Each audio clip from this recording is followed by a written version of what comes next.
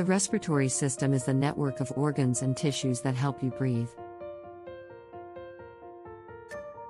It includes your airways, lungs, and blood vessels. The muscles that power your lungs are also part of the respiratory system. These parts work together to move oxygen throughout the body and clean out waste gases like carbon dioxide. Function What does the respiratory system do?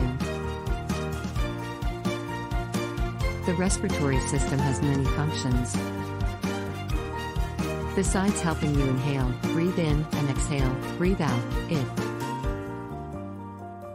allows you to talk and to smell, Warms air to match your body temperature and moisturizes it to the humidity level your body needs. Delivers oxygen to the cells in your body. Removes waste gases, including carbon dioxide, from the body when you exhale. Protects your airways from harmful substances and irritants. Anatomy What are the parts of the respiratory system? The respiratory system has many different parts that work together to help you breathe. Each group of parts has many separate components. Your airways deliver air to your lungs. Your airways are a complicated system that includes your mouth and nose, openings that pull air from outside your body into your respiratory system. Sinuses, hollow areas between the bones in your head that help regulate the temperature and humidity of the air you inhale. Pharynx, throat, tube that delivers air from your mouth and nose to the trachea, windpipe. Trachea, passage connecting your throat and lungs. Bronchial tubes, tubes at the bottom of your windpipe that connect into each lung. Lungs, two organs that remove oxygen from the air and pass it into your blood. From your lungs, your bloodstream delivers oxygen to all your organs and other tissues.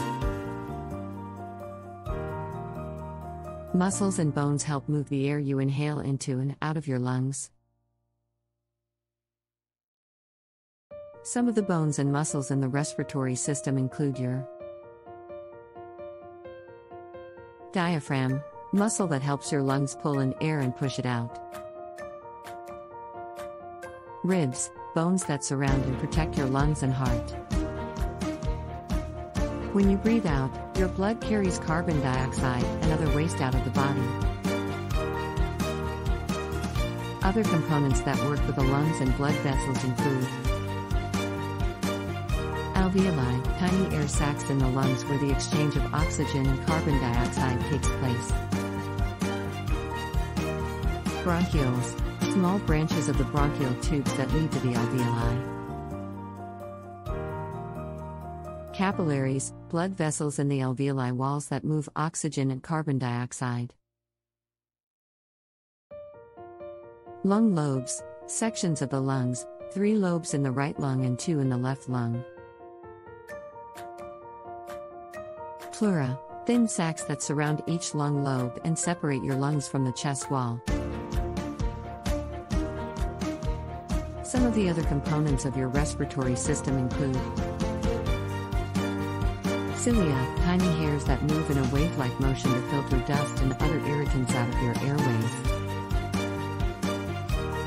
Epiglottis, tissue flap at the entrance to the trachea that closes when you swallow to keep food and liquids out of your airway. Larynx, voice box, hollow organ that allows you to talk and make sounds when air moves in and out.